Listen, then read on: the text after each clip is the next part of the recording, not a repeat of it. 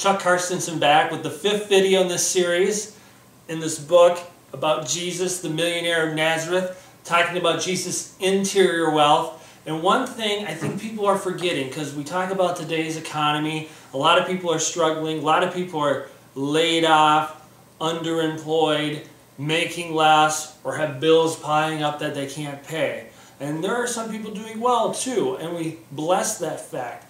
But overall, there's this awareness of struggle, bad economy, things are tough, things are tight, and we get into the wrong, wrong mindset when we hear this information, whether it's on the news or from people, from the, the water cooler conversations.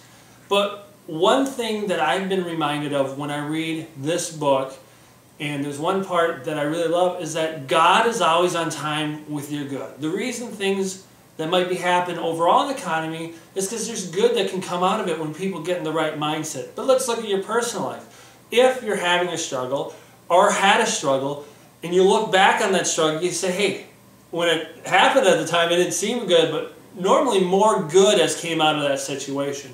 And if you're going through that struggle right now, just know that more good will always come out of that situation. God is always on time with your good. And when I was struggling and having some financial issues, that's all I could rely on. I had, like I talked about in past videos, that was my resource. That was the thing I could cling to. I had a word that God is always on time with my good. And I could say that over and over and look for good. You can look for good by blessing things. When I was driving down the road, I'd see the trees and I'd say, Thank you, God, for those wonderful trees. Or maybe see a bird and say, Thank you, God, for that beautiful bird. I bless the things that look good or seem good. I bless the fact, thank you, God, that I have a house to live in. Thank you, God, I have clothes to wear. Thank you, God, I have food in the refrigerator. I bless the little things that most people forget about because I knew I always had good on hand. I knew God was always in time with that good that I desired, that increase. Because people want to have increase, but most people are not increasing.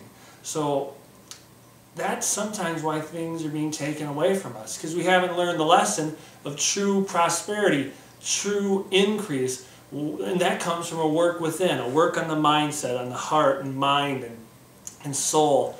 And that's what this book and others like it teach. And that's why I'm sharing it with you and sharing this information. I'm really excited and passionate about it. And it took me two to three years to share it because I spent time in prayer I'm like, yeah, it's not the right time to do it, not the right time to do it. Then finally, recently, it started to sound like, you know what, it is the right time to do it. I got this camera. Sure, I don't have the best backdrop and I don't have massive production costs, but I'm taking what I have on hand and using it to try to help others. Doing what this book says. I'm not waiting for the situation to be perfect like a lot of people wait. Well, when everything's perfect, when I feel better, when this happens, then I'll go do it. No, I waited to the right time. I took my time. I didn't rush it. I took my time. And then when I thought, you know, I'm hearing that voice saying it's the right time. Let's do this. Let's do this one thing I'm really excited about. What you're excited about, what I'm excited about might be different. You know what you're excited about. You have those voices going on in your head saying, mm, should I do it? Should I not do it? Maybe you try it too soon. Maybe you don't try it at all. It doesn't matter because God is always on time with your good.